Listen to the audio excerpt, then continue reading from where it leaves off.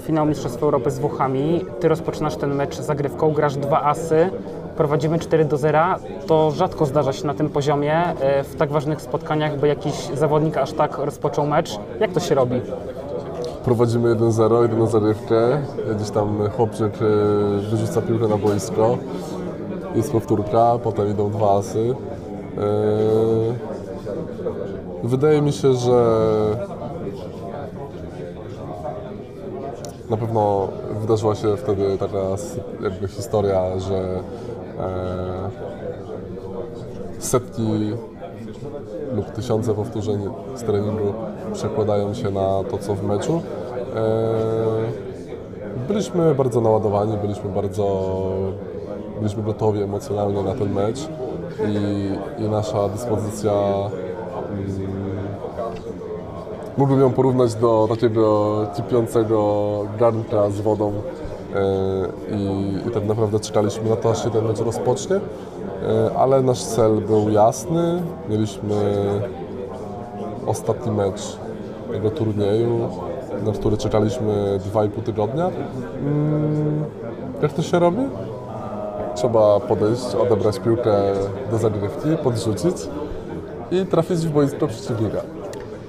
Ty udzieliłeś takiego wywiadu, w którym powiedziałeś, że e, Norbert Huber na boisku jest pewną kreacją w stosunku do Norberta poza boiskiem. Możesz rozwinąć tę myśl? O co chodzi z tą kreacją? Chodzi o to, że kiedy zakładam koszulkę meczową, e, wchodzę do strefy komfortu, w której się dobrze czuję, e, w której jestem sam, w której są pewne moje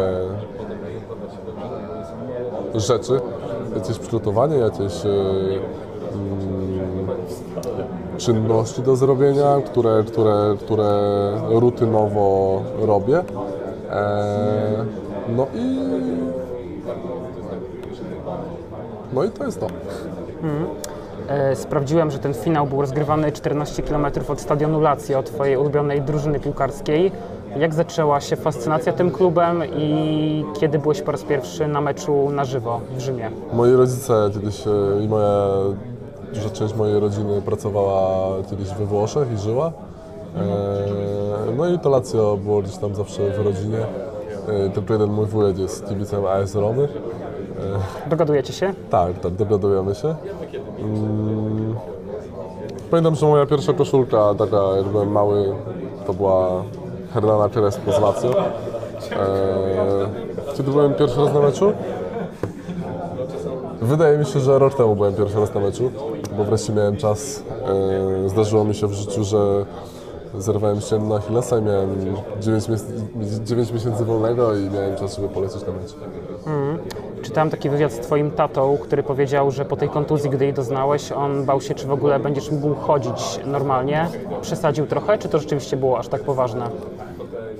Nie wiem, co to za wywiad, bo ja takiego wywiadu nie widziałem, a nie wiem, nie mam, nie mam takiej wiedzy, żeby mój tata udzielił jakiegoś wywiadu. Eee, wydaje mi się, że na pewno niektórzy mieli e, obawy, bo nie wiedzieli z czym, e, z czym, z czym to się je, że tak powiem. Eee, moja, moja przygoda z tą, z tą kontuzją, mm, jakby każdy, każda kontuzja jest jakaś indywidualna, jakby nie każdemu dzieją się te same rzeczy, ale, ale na pewno bez takiego doświadczenia w tym nikt nie wiedział, co mnie czeka i co może się wydarzyć. Na pewno czytając internet można wysnuć wiele wniosków i wiele, i wiele mm, przeczytać e, czegoś, co jest niezgodne z prawdą.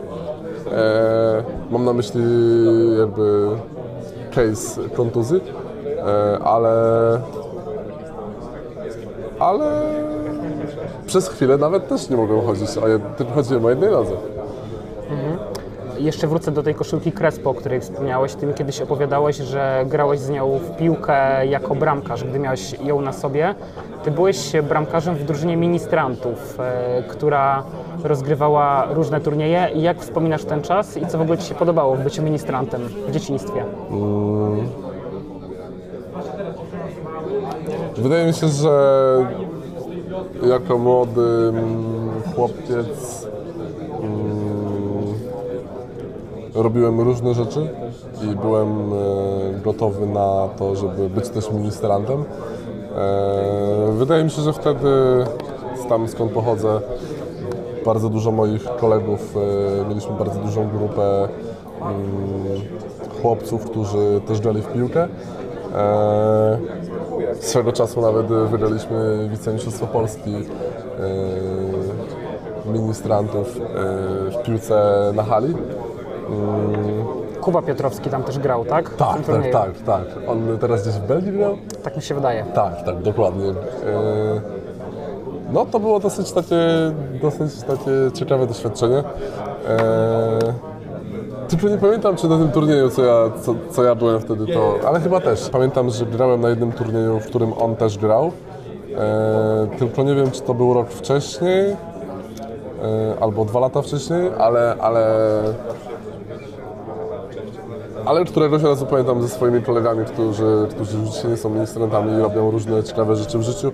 Rozmawialiśmy o tym, że, że na takim jednym turnieju byliśmy z zawodnikiem, który dzisiaj e, biega po europejskich boiskach na wysokim poziomie. A to trochę jest tak, bo kiedyś e, znalazłem taką twoją wypowiedź, że gdyby nie ta piłka, gdyby nie to bycie ministrantem, no to mogłeś różnie skończyć, bo twoi koledzy, powiedzmy, że bywało z nimi różnie w przyszłości. Czy tak rzeczywiście było? E, Wydaje mi się, że każdy ma takie możliwości, e, aby, aby wybrać swoją drogę. Mm, Poza tym młode dzieci, młode, nie ma starych dzieci. Dzieci są e, podatne na, róż, na różne emocje, na różne środowiska i, i pewnych rzeczy nie jesteśmy w stanie kontrolować, a, a, a na pewno robienie dobrego i, i jakby mm, otaczanie się dobrym sprawia, że myślimy też dobrze. Mm, Myślę, że myślę, że z, biegiem czasu musiałem na pewno sam podjąć e, decyzję i, i mieć świadomość różnych, różnych e, wydarzeń i różnych wyborów, ale, ale mm, jak patrzę teraz na swoje życie, które dzielę na części, mm, no to akurat w tamtym momencie myślę, że lepiej nie mogłem trafić. Pamiętam, jak siedzieliśmy w lipcu w, e, w Starbucksie w Gdańsku i rozmawialiśmy, to było dzień przed meczem z Brazylią w ćwierćfinale Ligi Narodów. E, Miałem takie poczucie, że ty jesteś troszkę pogodzony z rolą środkowego numer 3 w kadrze. Teraz tak szczerze masz takie poczucie, że twoja pozycja po Lidze Narodów i po Mistrzostwach Europy przede wszystkim bardzo mocno wzrosła? Jestem świadomy swojej wartości i, swoich możliwości, ale do każdego turnieju, tak jak teraz do kwalifikacji, y, przygotowuję się indywidualnie i ym, po kwalifikacjach będzie też y, trudny sezon, do którego też podejdę indywidualnie. A później mam nadzieję, że będzie taki okres, który, któ- do którego też podejdę indywidualnie i, i jakby będzie to jeden taki okres. Mm, Jeśli chodzi o moją pozycję w, w tej drużynie, mm, cieszę się, że mogę grać, że mogę występować na boisku, że mogę mm, że mam wpływ na jakby też na końcowy wynik i, i że też to dobrze nam wychodzi. Jeśli chodzi o przyszłość, yy, zobaczymy co ona przyniesie. Na koniec, e, jak podoba Ci się format kwalifikacji do Igrzysk Olimpijskich i z jakim nastawieniem polecicie do Chin?